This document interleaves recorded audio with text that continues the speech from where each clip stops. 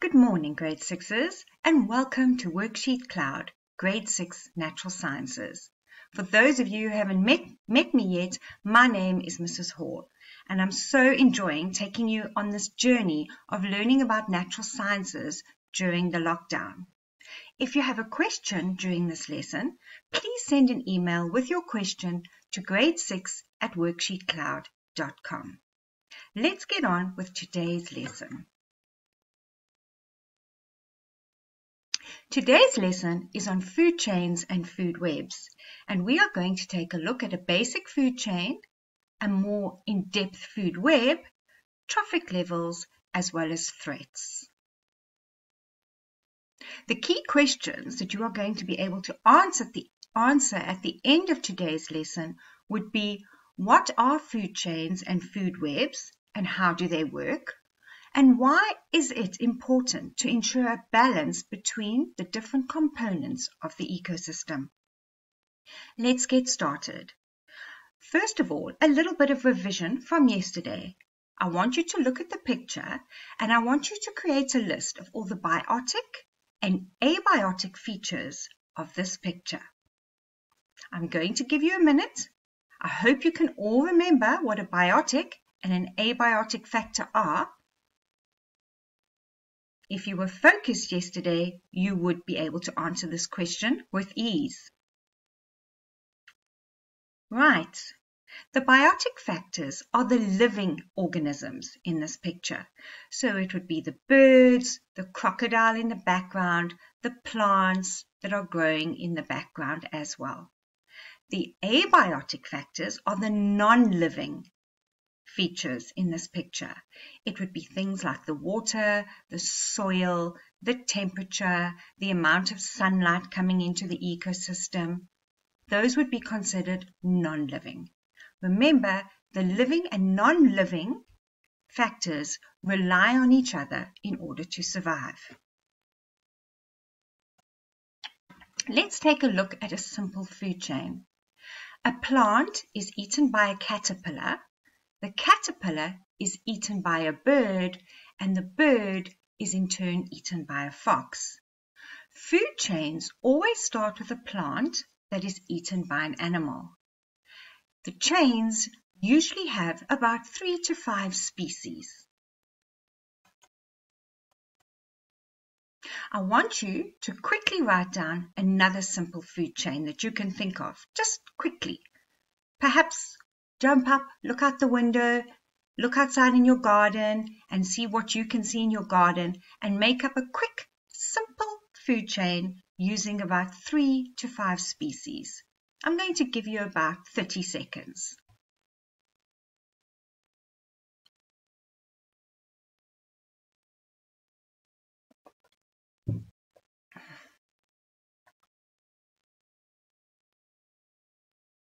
Right, Here's an example of a basic food chain. Hopefully this one wasn't in your garden though.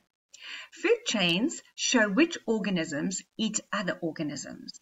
So we'll start with the grass, which you probably all have, eaten by the rabbit. Some of you might have the rabbit eaten by the fox, which I don't think any of you have. The arrows show the transfer of energy from one organism to the next. So who gets the energy? The rabbit is getting the energy from the grass, and that is why the arrow is pointing towards the rabbit. The fox is getting the energy from the rabbits, and that is why the arrow is pointing to the fox. The arrow shows who the energy is being transferred to.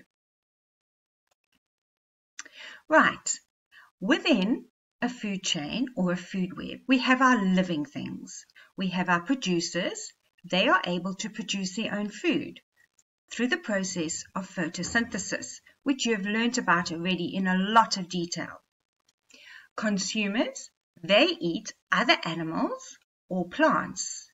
And decomposers, they eat the dead animals or the dead plants. There are three groups of consumers according to what they eat. We have a herbivore, which only eats plants. Think of herbs, greens, only eat plants. Carnivores, think of carn, meaning meat. Only animals eat other animals. They are carnivores. Omnivores eat both plants and animals. Those are simple terms that you would have already learned in grade 5. Just a little bit of recap for you here. Decomposers are things like your worms and your bacteria, and they feed on the dead bodies of animals and plants, and they are called decomposers. Your worms and your bacteria. Remember, we did in food processing, we spoke about the different microbes. We got the good ones and the bad ones. These ones would probably be good ones, breaking down the plant and animal matter. Right, grade sixes. In science, we have scientific terminology. It's part of the language that is used by scientists in their professional activities. While studying nature, Scientists often encounter or create new material or objects and concepts, and they name them. Let's take a look at the scientific terms for this section. It's always important. You need to remember that science is a whole new language on its own. Producers. Producers are organisms which can make their own energy from carbon dioxide and water using sunlight for energy. Those are your plants, and they make their own food through the process of photosynthesis. Your primary consumer are your organisms which eat your producers. They are your herbivores. Your secondary consumers are organisms which eat primary consumers. They are your carnivores. your tertiary consumers are your organisms which eat your secondary consumers and they are also your carnivores. So this might be some new language to you, secondary and tertiary consumers. Microorganisms are very tiny organisms such as bacteria and fungi. Decomposers are microorganisms that break down dead plants and animals. They also break down the waste, easy way to say, the poop of other organisms. Decomposers are very important for any ecosystem. If they weren't in the ecosystem, the plants would not get the essential nutrients and dead matter and waste would pile up. And we don't want that happening. We need it to be broken down and returned back to the soil. Over here, just a good visual for you of our microorganisms over here and our decomposers in the soil here. You know, they actually say that in the soil there are more bacteria and organisms in what there are humans in the world. Interesting. Each level of a food chain is known as a trophic level. Food chains always start with a producer, your plants. Producers are always on the first trophic level. And here we have the different trophic levels. Take a good look at this picture. I'm just going to have another sip of water.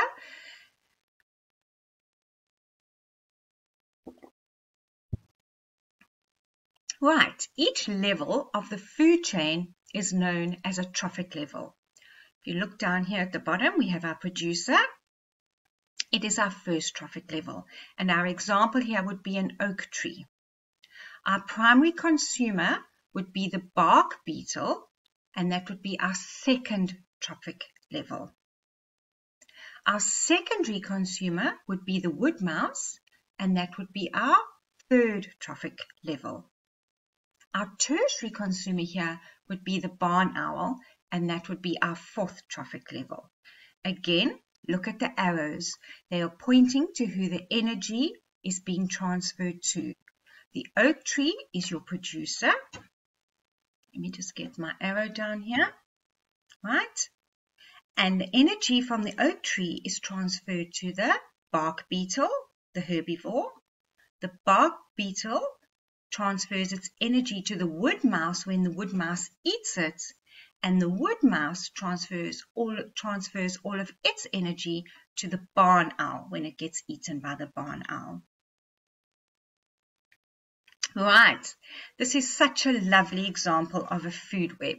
You all know these characters, but some of the pictures you might not recognize. Over here we have algae, and over here we have zooplankton. Right, here we have little small invertebrates. Those are little animals without a backbone. And we have the characters from Finding Nemo. There's Nemo, he's a clownfish. And um, Dory, who is a blue regal. Can't remember the turtle's name. And obviously we have our lovely shark over there. Right, let's take a look at this food web in a more scientific manner. Right. I want you to, first of all, look at the food web in front of you, the scientific diagram, and I want you to write down two food chains from this food web. Two simple food chains, remembering it takes three to five species. Jot it down quickly or think about it. Look at your producers. Remember, a plant, a food web always starts with a, a, a producer like a plant. So it would all start with algae. And a simple food chain here would be the algae being eaten by the small invertebrates who would be eaten by the blue regal. Or the algae being eaten by the zooplankton, the zooplankton being eaten by the clownfish. That would be an example of two little food chains. Now, Lots of different food chains make up a food web. Right, look at these questions. What will happen to the number of clownfish if the sharks become vegetarians? So here we have our great white shark and they become vegetarians. So they're not going to eat meat. They're not going to eat Nemo over here, the clownfish. What do you think would happen to the number of clownfish if that was to happen? Yes, you're quite right. If the sharks became vegetarians, there would be too many clownfish. And what would happen to the zooplankton? There would be too much competition to eat the zooplankton because the clownfish would grow in numbers and their population would increase because no one was eating them. So we have to make sure there is always a balance in a food web. The right amount of different organisms. They have to be in equilibrium. What effect will this have on the number of zooplankton? So now the great white shark becomes a vegetarian. So obviously they're not eating Nemo, who's the clownfish, right? So Nemo Um, just on a second here. Sorry, I'm back. I was just um, battling to see the small writing without my glasses on. So back to the question, what effect will this have on the number of zooplankton? So if the great white shark become vegetarians, they're not eating the clownfish. So there's a huge amount of clownfish and they're all going to be competing for the zooplankton. The zooplankton will decrease in numbers exponentially because obviously there's more clownfish eating them. And then what will happen to the blue regal fish, to dory, if a disease wipes out the small invertebrates? Well, if the small invertebrates are taken out of this food web, then all the blue regals will be competing with each other for the algae. And there won't be enough food for everybody. The food web is a series of food chains, all connected to each other. Plants are eaten by a variety of consumer animals, and, they, and then those animals may be eaten by a variety of different carnivores. So over here, another scientific diagram, put it into detail for you, of a number of different smaller food chains that are all connected to each other, making up this food web starting off with our producers, to our primary consumers, our secondary consumers, our tertiary consumers, and they are all linked, and some of them eat each other from other food chains. Like if you look over here, the grass and the grass seeds are eaten by the ant. The ant is eaten by the woodpecker. It's also eaten by the lizard and also eaten by the anteater. So they are all linked. Different threats to a food web. There are lots of things that threaten a food web. How many can you think of? I'm going to give you a minute. Jump up and down, stretch while you can. Have a little bit of a drink of water or a little snack. And I want you to think about all of the things that threaten a food web.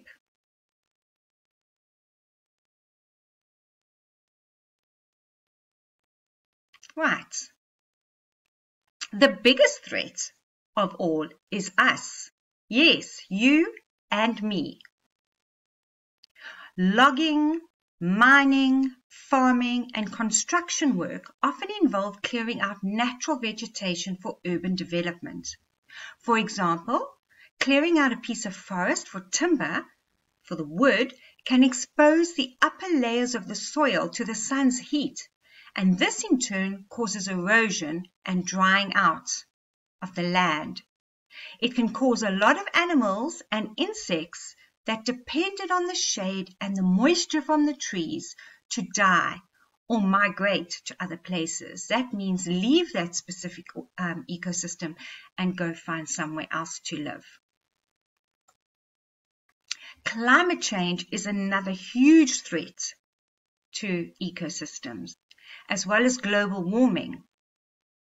The present rate of rising global temperatures is destroying and altering the coral reefs, our mountain regions, our water cycles, all which are vital ecosystem resources. And I put in these pictures here because you all know what's happening in the North Pole, the Arctic, with the polar bears. If you feel like you need a bit of an extension to this lesson, do a bit of research after this on global warming and climate change and the threat to the polar bears. Very interesting to do that research and find out a bit more about it. Question time, grade 6. Are you ready? Let's think about food, food webs in more depth now. From what you've learned today, let's dig deep and think about what we've learned and what we've understood. Answer the following questions for me. Question number one. Why is it important to ensure a balance between the different components of an ecosystem? Think about it. I'm going to give you a second.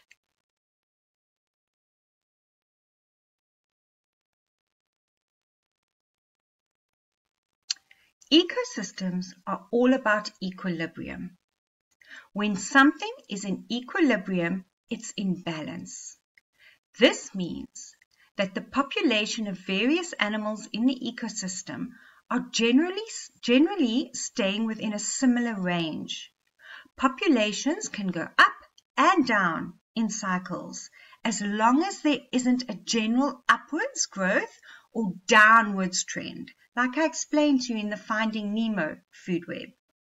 Without a proper balance, an ecosystem can collapse.